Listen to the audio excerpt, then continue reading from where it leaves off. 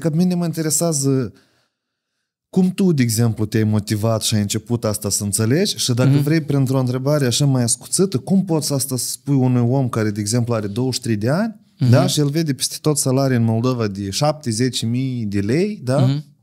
Asta încă, pe bune salarii, că sunt oficiale și de 4 mii, nu știu mm-hmm. cumva, da? Și te noi, angajează. și noi avem așa. Și uite-te, și el vede asta și te vede pe tine cu ghele, cu așa, în costum de 1000 de euro. Și spune, mm-hmm. dar tu și n-ai de unde să-mi dai bani? Cum să faci omul ăla să înceapă a înțelege cum funcționează sistemul ăsta cu mediul antreprenorial? Că aici e problema și e mai mare. Omul vede rezultatul final, dar nu vrea să vadă calea.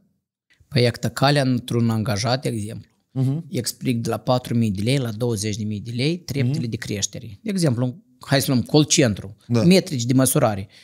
4.000 de lei înseamnă 100 de vizitatori, clienți de serviți, de call care pot fi prin soft urmăriți, cât uh-huh. și-o vorbit, script de vânzări, algoritmi de discuții. Adică tu îi dai instrumente, îi dai instruire, uh-huh. îi dai uh, pregătire. Și algoritm spui, de lucru. Da. Nu, da, da. Și ore de muncă, conform legii, că nu-i cer 110 ori, ca nebunul, 14 ori. Uh-huh. Iar lucrai la 8 ori, eficient. Și în cazul îi spui, 4.000 de lei 100 de vizitatori, uh-huh. 5.000 de lei 150, 6.200 de vizitatori. O gradare, da? Așa, tu îi spui până ca trendul meu acum, legal, să cresc până la 10.000 de lei salariu de start cu condiții, dar presupun că, nu știu, 300 de vizitatori în loc. Nu, da, nu trebuie 1.100. Că 100 nici nu-ți convine cu 4.000 de lei, nici mie nu-mi convine. Uh-huh, uh-huh. Mai bine tu produci 10.000 salariu de start țăi, îmi produci 1.300 de vizitatori și eu nu am 100 de oameni în call centru, să am 30. Dar dacă tu vrei 1000 de euro, tu trebuie să faci 500-600 de vizitatori, de exemplu. Uh-huh. Sau să propui... Mai bine am 10 buni de 500 de vizitatori decât 40, decât 100 de vizitatori care câte 4000. Ca, uh-huh. ca mhm. bani eu ă, nu câștig, că la cealaltă îi dau 15.000 de lei, de exemplu, da. 10.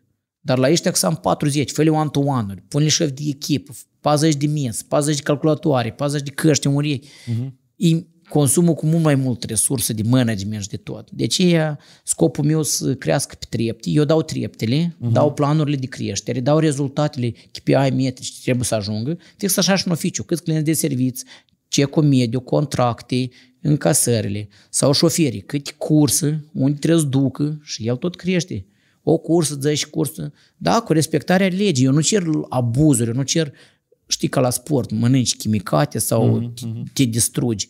Și eu nici nu le dau voie să ardă profesional, fiindcă îmi dau seama dacă le exploatez mai multe luni, uh-huh. chiar și el singur când se exploatează pe dânsul, tot e un pericol. Fiindcă omul ăsta nu maxim în jumătate de ani și n-a să reziste. Stânge,